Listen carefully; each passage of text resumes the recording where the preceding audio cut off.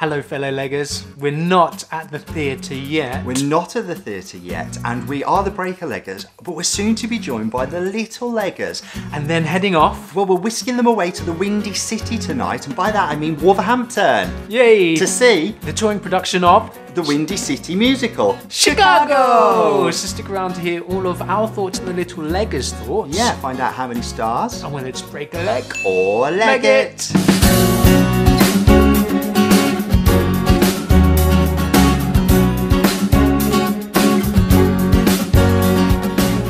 Nice to be in the warm for this Yeah. opening because usually we are. It's getting cold and It dark, fellow colder. leggers.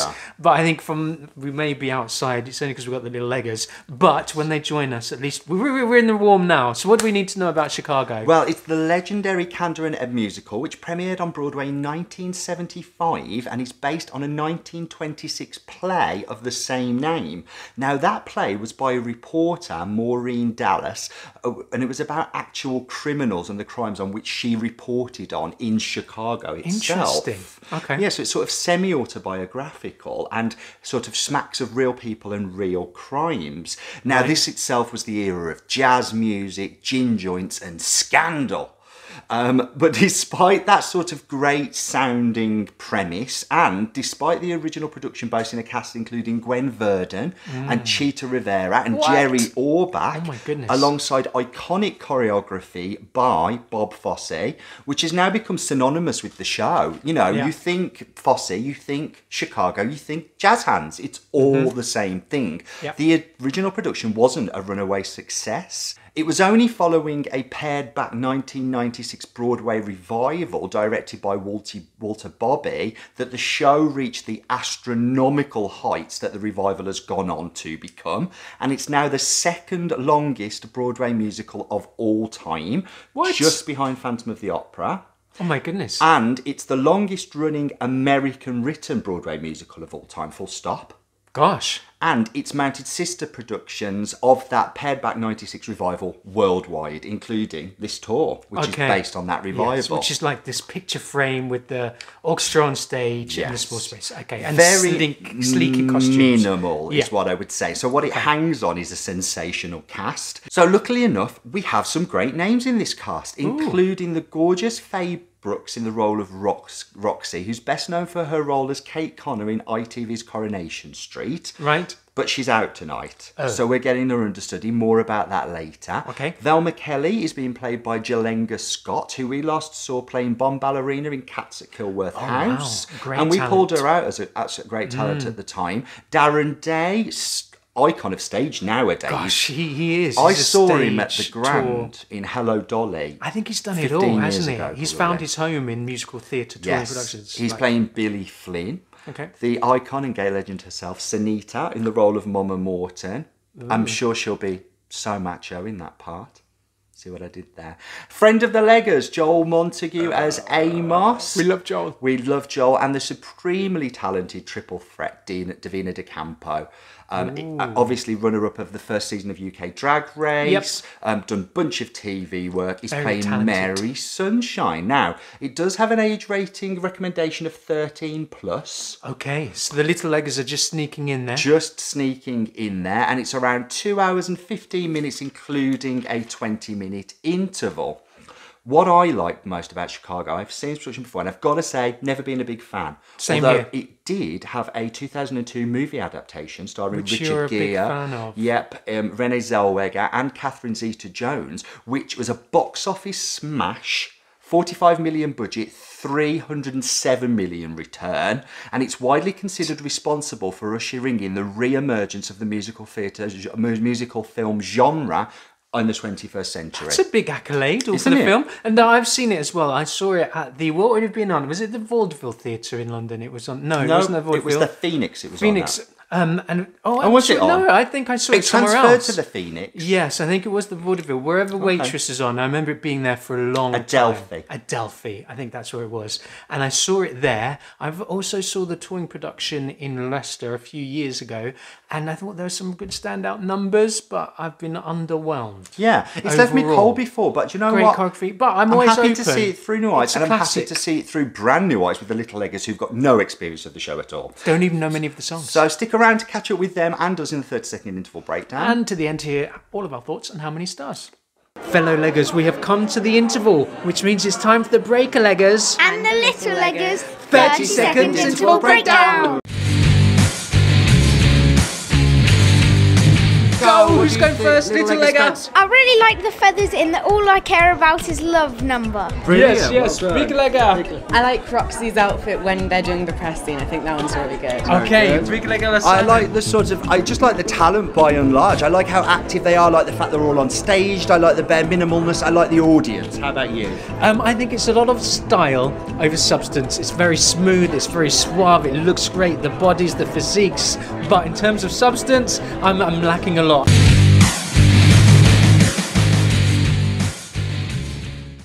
Fellow leggers, we've come to the end of Chicago on tour. Chicago. Chicago here Chicago. at the uh, Grand Theatre Wolverhampton. Do you have a pun? Did we Do? I have a pun? Yeah. Um, Is it Chicago or just go? there you No. go. Do you know what? Vote This is what that. happens I want to know you what you don't- think of that when you come up with the punnage. Is This that is better than I my don't. punnage? That's what we know. Is it Chicago or, Or just, just go? go. Okay, just it go. needs a bit of work. I think we stick with that. Um, yes, I've seen this piece before, as I mentioned. I think this is my third time now, um, and I still prefer the film. Okay, why is that, Legger Simon? What do you think? I just think it adds a lot more narrative. I think that what this piece is a vaudeville cabaret show, really. It is these individual set pieces telling bits of story for different characters from their perspectives, with their motivations. I love its overall commentary on the American justice system, on the fact that America. uh, This is what Kander and Ebb do so well. It, smacks of cabaret in that sense, of sort of exposing uh, sort of a, a a world of underneath. You know, you think the American justice system in sound, in God we trust, but it just goes to show in the States you can trust no one. It's similar, actually, in terms of what I've said from the interval. It's all style and not much substance. I think something like Cabaret, it deals with those messages in a much more direct way, whereas this is really diluted undertones of the justice system and how fallible it is, and also celebrity status, how people want to Easy become come, easy go. Easy come, easy go. Disposable celebrity, and we're still in the age of that. Now, remember, this is based on a play from 19, the late 1920s, about the 1920s, which was converted into a musical in the 70s, but so much of its content is still relevant. You know, the, the, the age of celebrity is still with us right now, in that you're hot one minute, you're not the next. Nothing has changed, and I think it's slightly ironic that they sing um, in 50 years or, or so it's going to change, you know, but ain't it heaven nowadays? It ain't heaven, and it ain't never has been. And as such, I, I think it, it just falls short for me. Um, I think with the right people in the right roles, this each line, each individual moment, you've really gotta remember where you've this have came that from, with right? big names. Bob Of Fosse was in a relationship crew. with Gwen Verdon at the time. And with Gwen This- the piece delivering was this choreography, that around sharpness, Gwen. that, that shot, like, Yeah. I, I- it would have been magical. Gwen Verdon, We've got Chita, the production. Chita Rivera, Jerry Absolutely. Orbach. you And know. that's kind of what I was missing, I Yeah. think. So as we we got talent, but we missed that star drive. Yeah. But hey, that's just about that's that's big leggers. Yeah, What but we're not the only ones Little, here. not so little leggers. Yeah. Who's going first? What do you think? Go on, you I'll said you first. know what you Go on then. What do you think? I like the fact that at all times you can see the band in the back, so you could always see that they were playing and what they were playing. And I also liked Amos. He was my favourite character just because, like, he, he was just the best. Amos. What was it you liked um, about him particularly? Why was he the best? Like, what, what was it John about Montague him? playing Amos. Yes. Yeah. Stole all the comedy moments to start Yeah. with. He does get all the comedy Mr. moments. and that- Cellophane Sway. The cellophane sway. I mean, and it, the thing is, it comes down to timing about that. And Joel is a master at timing. You can see, I can see he's, um, who's the character who played in Waitress? You know, the I'm not. I know who you mean. And it'll be hard to never touch it, Yes, I know who you it'll mean, be but I don't know the name. I don't. I don't know. who it is. Um, Ogie. Ogie. He, has that. You- he's Yeah, Ogie. absolutely. He's got the Ogie comic timing. Joel is perfect for parts like this. There is a part in every show where Joel Montague can fit. Um, talking of the band on stage, I've got to say, um, great, fantastic talent, and Yeah, they are so switching talented. out um, instruments as well. So Do you know what? That one in so the middle, there was three brass at the back. And Yeah. to be fair, I've never seen somebody be able to blow so well. Picking out, seriously, one instrument after another. Blow, blow, blow, blow. However, it did stand out because we could see them all, how they were all white men. And in terms of diversity, I was a bit like, oh, that's a bit odd. That That's the first time I've noticed, and we've seen it more come through diversity in an orchestra, but not here. Not in the conductor, not in any of them. All talented, all great sound, nothing against them. But as we're white. looking at them, I was thinking, ah, that's Yeah, something. that is something. That's a bit behind maybe with the whole system of music and whoever does arranging. But that's something that did stand out. How about you, uh, Lega Lincoln? I would mention about the costumes, but there really isn't much to mention about. There is. Is that because they're so do you mean? skimpy? Do you mean there's not much to mention because Yeah. literally it's There. all just crotches and, bru- and boobs, right? There's- there's lots but there's some lovely flesh. lace work in some of the There is. costumes. Such as, for example, in the interval, I mentioned um, Roxie's um, outfit in her press scene. That was really nice, and the lace work in that was really nice. Yeah. However, the one that I think they could have done more with was Oh, the, the sunshine. sunshine one. The sunshine one. Yeah, Mary Sunshine's costume. It was um, shapeless. Yes, that's it. It And we know fancy. Divina has a great figure. Yeah. But we It didn't get to It could have see just it. been a big puffy coat. Even that has a figure, and that could have looked really nice. Yeah, But instead they cinch your waist, love. That's what we need. We need a cinched waistline. Yes, absolutely. Um, what did you think of Divina as Mary Sunshine? I thought she was good. Yeah. Lovely notes. They we are know, great. We, we And know Divina can sing yeah, this show. that's the thing. Divina Divina, has Divina has whistle register. She can Absolutely. get up there soprano high and, and has great range and ability. And I'm glad that um, if anything came out of season one, Drag Race, it's that Divina has found her rightful place on stage. Should we talk about Sinitta? Let's Because talk I know about you're a fan of Sinitta. It's a pleasure to Who see a legend on stage. She's a gay icon. And She's an icon as well. She's an icon and a gay icon. But she's a gay icon. Let's like get physical. No, that's Olivia Newton-John, That's love. Olivia Newton-John, love. It's so macho.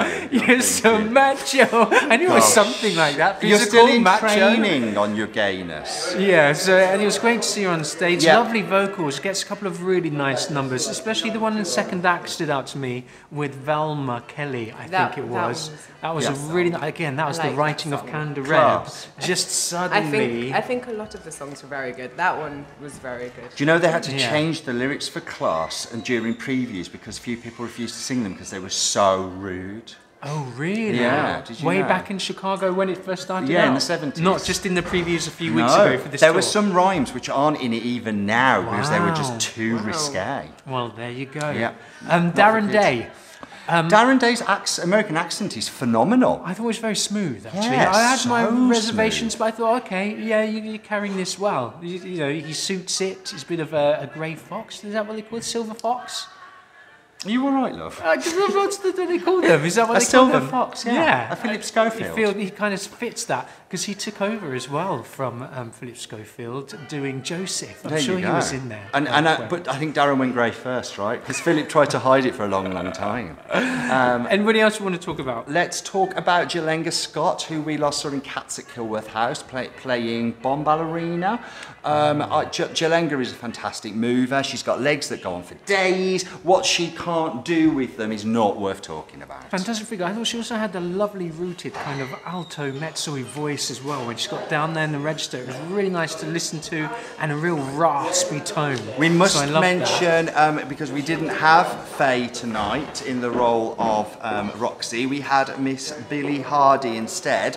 And how difficult must it be to step into a role that is so exposed? I Rosie is the centre of it. the show. Yeah, that's like it's so much to learn and know. And there's a whole sequence um, pre the interval where she is on her own as well. There's so much in there to be. It's able to carry that exposed. moment. If you haven't had that whole rehearsal process as well, that's you know watching somebody else and having to learn it through them. Um, I thought it was very good, very good. Very good. Um, let's also talk about. Um, do, let's talk about love. The ensemble was very good as oh, a let's whole. talk okay, about the ensemble. about- yeah, yeah, yeah.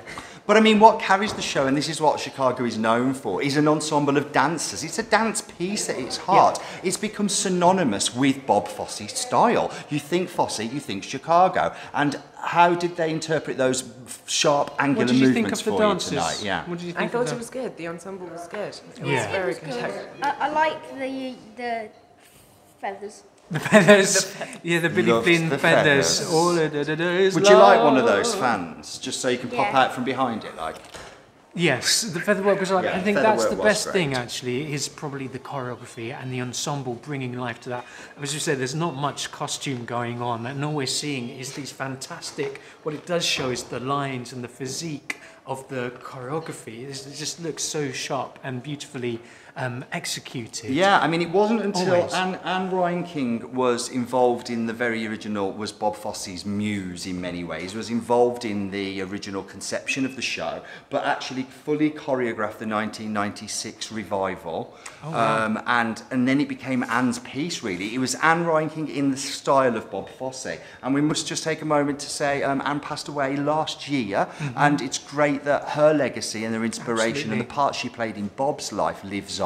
Um, watch Fosse Verdon if you want more. Ah, yes, very good piece. Lots Yeah. of history in there. There is. Very interesting. Um, but yeah, you are right. Do you know what? There's no, the narrative is lacking, and it makes up for it in the film. The film is a different beast and adds a lot more depth to the story for me. And that is where it's it's a nice piece with some good numbers individually staged, but it goes on. It does. Like me. Um, talking about going on, to wrap me up. Shall we wrap it up? I guess you're probably wondering how many stars we're going to give this touring production of Chicago, which is currently here at the Grand Theatre and maybe coming to a theatre near you. Yes, For we- this piece. We are going to give three. Three stars for this piece. It's a good night out, but it's not the film. It has holes in it in terms of narrative, and it always has. But it's got some great ensemble work in here, and it is the numbers that you know and love. It's all that jazz. It's nowadays, it's um, razzle dazzle. It is um, some of Kander and Ebb's most lasting work.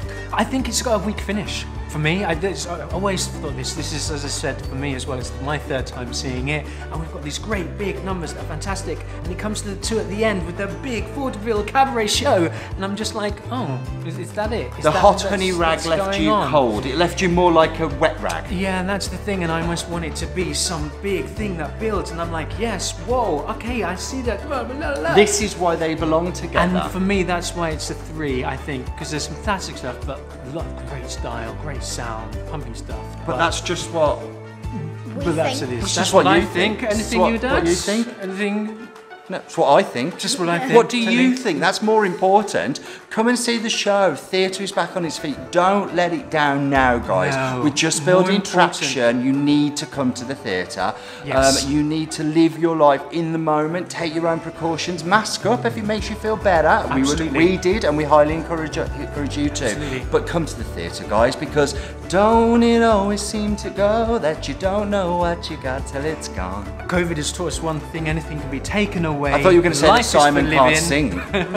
So that's what we think. Let us know. Comment below. We are the Break Leggers. And the little eggers. and the little leggers, and we'll catch you again soon. Bye. Bye.